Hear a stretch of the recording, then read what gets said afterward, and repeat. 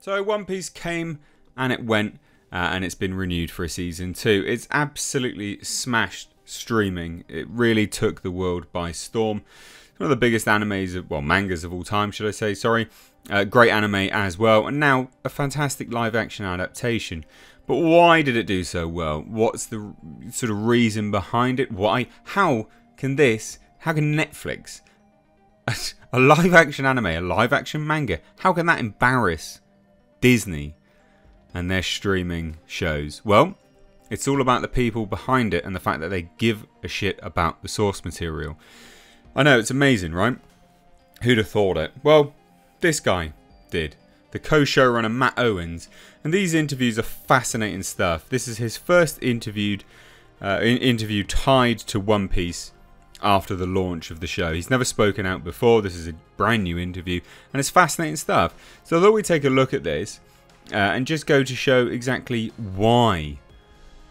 You know, it is it's such a success because uh, it's nice to see. We always sit here and we complain about Hollywood. Let's say some good stuff about it, shall we? So, five weeks into its run, Netflix's One Piece remains firmly in the streamer's weekly top 10. That's incredible five weeks, it's still in the top 10, amassing 57.8 million views to date.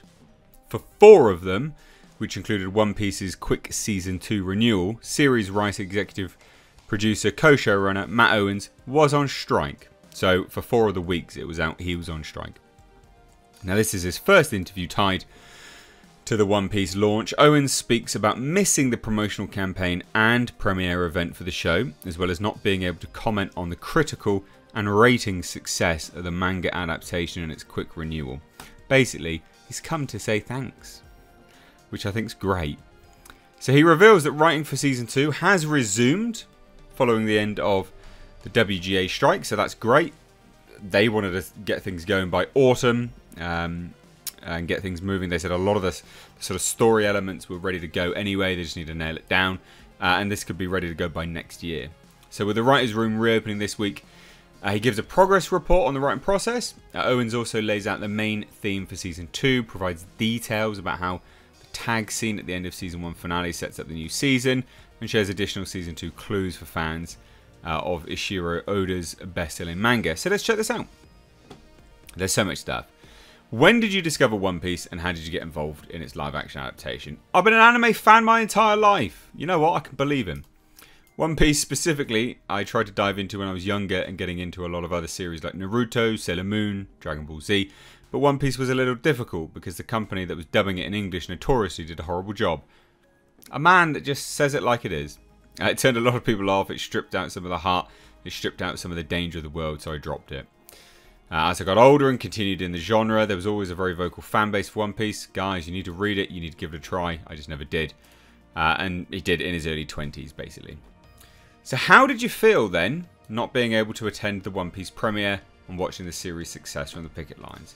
It was a little bit tough not being able to experience firsthand or really even talk about it. This was five years of my life getting this show made. I'm very proud of it, and I still uh, and I still love to be able to watch it but not being able to share that, especially with my cast, it was tough. I'm glad that it's out there, and I'm glad for the reception that it's gotten, but there was a little bit of a hole in my heart not being able to engage and participate. But I'm thankful. There you go. Now for the opportunity, like with people such as yourself. Someone who cares, ladies and gents. Uh, had all the cuts been finalised by the time the WGA strike started? This is an interesting one. Or were there surprises when you watched the show? We were very close. So there you go.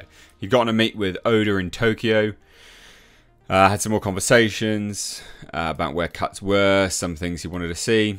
So we were back in post when the strike hit. We were uh, picture locked on most things. So basically there was nothing, not really much. Um, but he's heartbroken that he didn't get to finish the show. Luckily, post production team, the effects team, they know me and they know the show. So for having to step away, it was all in good hands. This is a good cohesive team.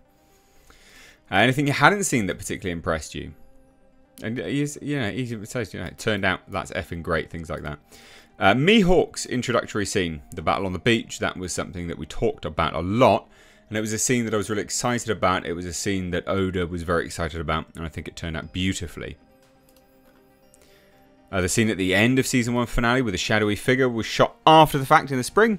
Were you involved in the decision to add it? Yes. Again, someone just absolutely involved in everything. Uh, a good cohesive team, super important stuff. Uh, da, da, da. What can you tease about how that sets up the second season? So here you go, season two, lovers. Season one ends with Luffy gaining notoriety, and while it's something that he wants, he wants to be taken seriously as a pirate in this world. As Nami and Zoro say, this is putting a target on your back. A lot of people are going to know you and know your face, and so that tag at the end is really reinforcing that idea that there are people who know, who now know of Luffy's existence, and they're going to try to put a stop to him. Character at the end is a very important character moving into our next season, and as Garp says to Luffy as well, you're on your own. While Garp may have been the Marine who was testing Luffy, not every Marine is going to give him any leeway because of who his grandfather might be. And so we're going to see this very powerful, very driven Marine uh, as a major antagonist moving forward in the story. Tell us more about that Marine, Captain Smoker. So that's, yeah, very popular character. Re reappears throughout the manga, so don't worry, he's not going to die next season. Um, but yeah, I love a tag that can give you a nice tease for people who might be new to the adaptation. But just such good stuff. Such good stuff rabid excitement. This person clearly loves the show. We were on strike at the time, uh, but had to process casting. Smoker started before the SAG-AFTRA strike. No one's been cast yet, not only because of both strikes going on, but we were still early in the process. We weren't beyond talking, so that's not been cast at all. Uh, and the talks of Jamie Lee Curtis and people like that. So what's the deal with that?